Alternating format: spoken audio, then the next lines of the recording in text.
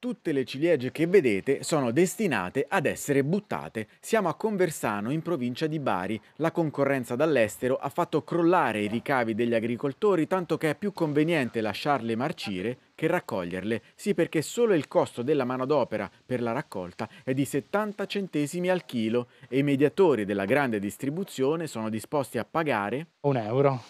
E quindi che farà? Le devo buttare necessariamente sulla pianta, non le posso lasciare perché se non mi possono rovinare la campagna dell'anno prossimo. I 30 centesimi che restano in tasca all'agricoltore non riescono neanche a coprire le spese delle lavorazioni che ha dovuto effettuare durante l'anno, dalla concimazione alla potatura. La ciliegia è la sicura per tutto l'anno, quindi uno aspetta con ansia, con enfasi la raccolta e poi viene così scoraggiato.